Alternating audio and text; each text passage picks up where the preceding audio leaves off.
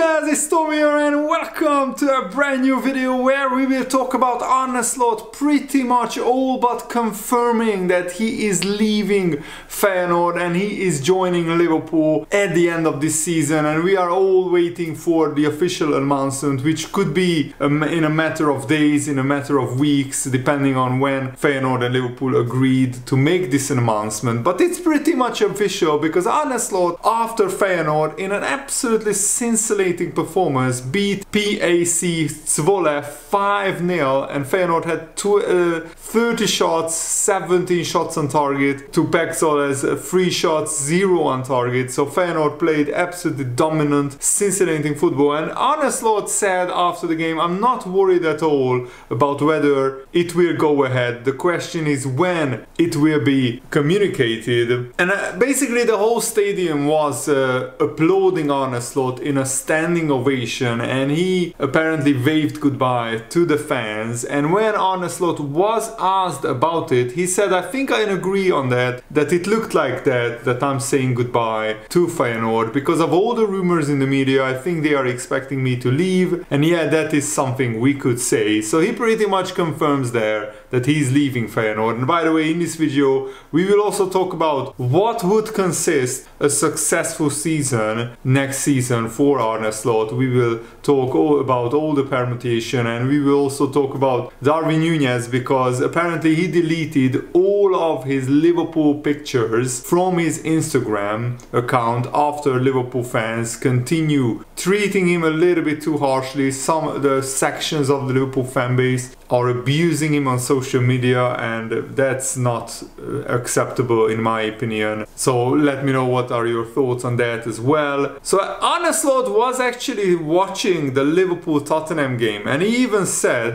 that uh, he watched Mo Salah score and then he had to switch the game off because uh, he had a game with Feyenoord. He said if the official confirmation is there and I'm 100% sure that I will go there, I don't think I will only watch the game, I will watch a lot of games from Liverpool. So he said that he's likely to watch the rest of the Liverpool Tottenham game in due course. Arne Slot also said that he intended to take Jurgen Klopp up on his offer of advice, the German having indicated that if his replacement wants to know something he can call me, we can speak about absolutely everything. And I love that by the way from Jurgen Klopp. And Arne Slot said, I think it's normal that if you go to a new club and if that would be Liverpool, it is normal that you contact the former coach. I did this when I went to Feyenoord as well. It's more than normal that all the knowledge a person has that worked a few years at that club and in this situation even nine years that you contact him apart from that I know his assistant quite well Pepijn Lijnders. if there is an official confirmation when the season is done it would be strange if I didn't call him then so basically Arne Slot is pretty much all but confirming that there will be an official confirmation and he is going to Liverpool, he's leaving Feyenoord. So Liverpool are expected to formally announce Arne Slot as the next manager in the coming days, in the coming weeks. Maybe Liverpool are waiting for, uh, you know, for Jurgen Klopp to have his uh, official last game against Wolves, which will be a very emotional one as well. And even Jurgen Klopp said that uh, he hopes that it will be raining against Wolves, so people probably don't see him crying a lot.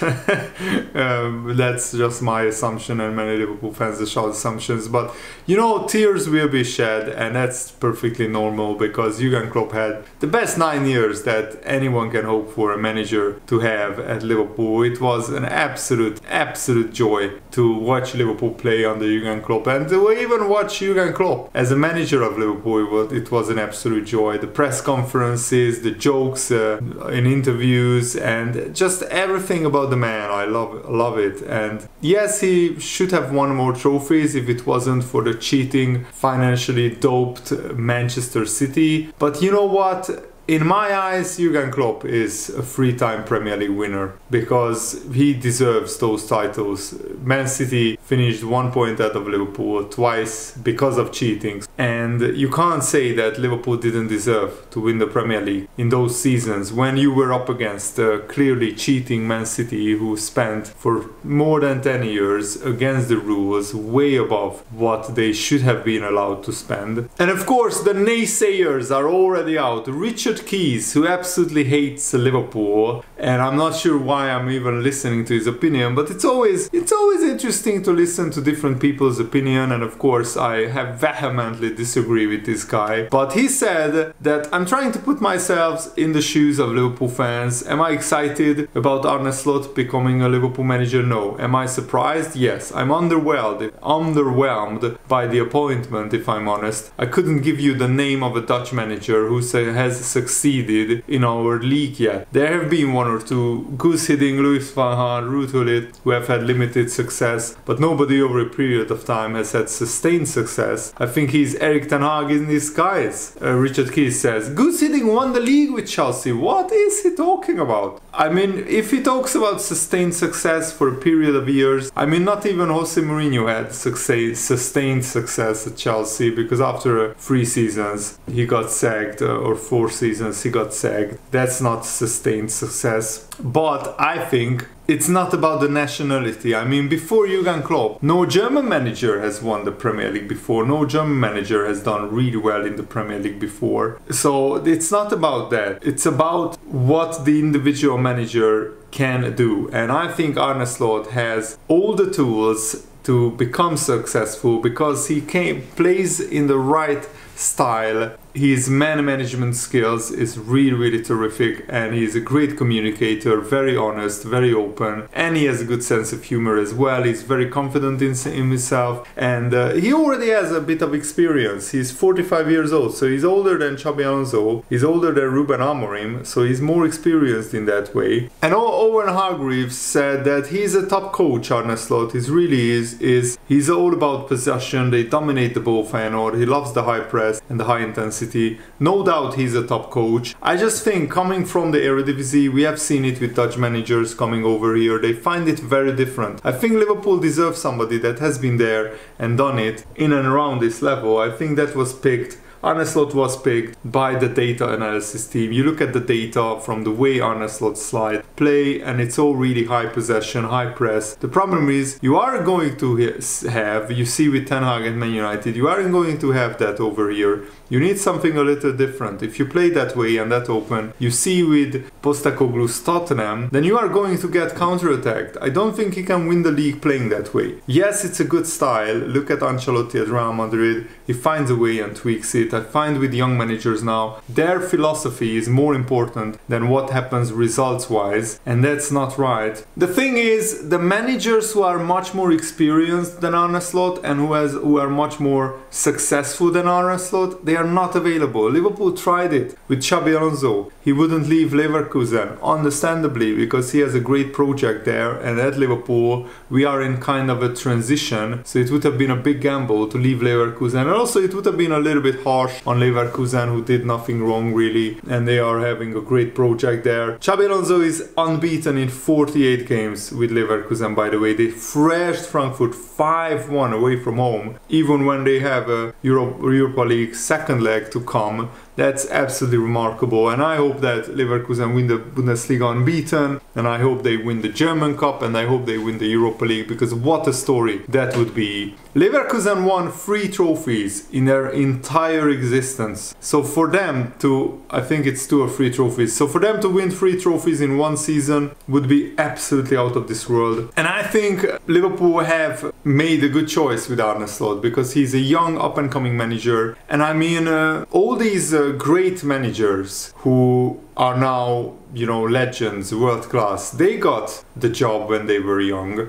at one point and they were given a chance and that's when they flourished. So Arne Slot deserves a chance and I think we should wait until the end of his first two full season to see what kind of uh, you know season Liverpool had. And another clear indication that Arne Slot is becoming a Liverpool manager is that he said sometimes in life opportunities come along and you have to listen. I've made that choice for myself. In the next days or weeks, you will see the official announcement. So he's pretty much all but confirming that he's becoming a Liverpool manager. And I also want to tell you guys what uh, a Dutch football fan who, of course, watches the Eredivisie regularly said about uh, Arne Slot. So the fact that Tottenham and Chelsea wanted him before is a clear indication that Arne Slot is a really good manager and uh, many other Premier League clubs thought that he would be great for them. Liverpool is by far the best team Arne Slot could have hoped for, this uh, Dutch football expert says, because it suits him perfectly. Whether or not Slot is also the best coach for Liverpool is something, of course, time will tell, but I'm optimistic based on what I know of him. In the Dutch and English media, there is a lot of comparison to Van Gaal and more recently Erik ten Hag, and even though I personally feel those comparisons are completely unjustified for a lot of reasons, I do wonder what, uh, of course, the Liverpool fans would consider the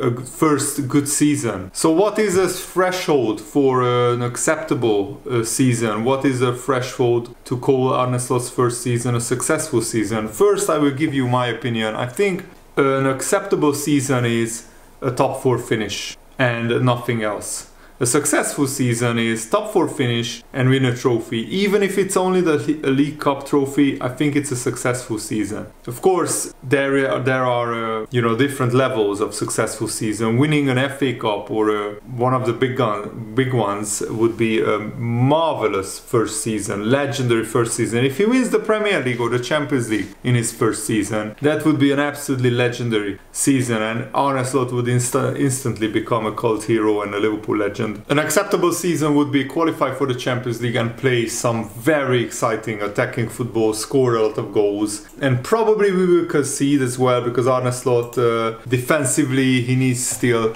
to get better, especially in the Premier League. But also it depends on what kind of squad we will have and what kind of injuries we will have throughout the season, because that would, of course, uh, change the perception around the fan base. If we have eight or nine injuries throughout the whole season, then it's different than if we had a season like Arsenal had, where they hardly ever had any injuries. And also, it's important how you do against, uh, you know, the big teams. So even if Liverpool finish in the top four, but if we do badly against the big teams and if we lose the Merseyside derby against Everton and if we lose to Man United, that uh, wouldn't be um, quite acceptable season. But if we finish in the top four or even top three and we do well against the big teams uh, or at least not lose against them and we if we beat Everton in the Merseyside derby, then I think that would be a more than acceptable season. And Jurgen Klopp wasn't judged based on what uh, he won in the first season. He immediately changed our play style.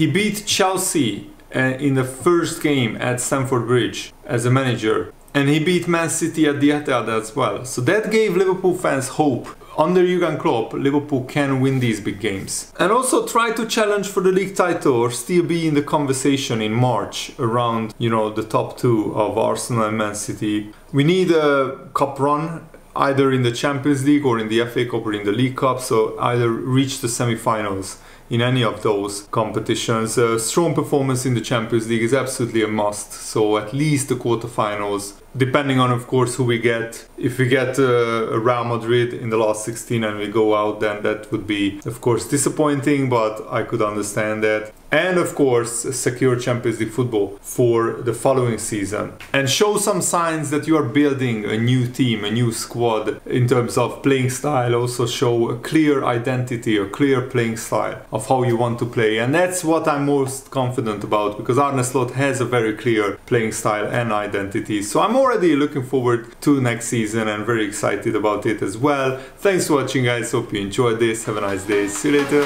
goodbye!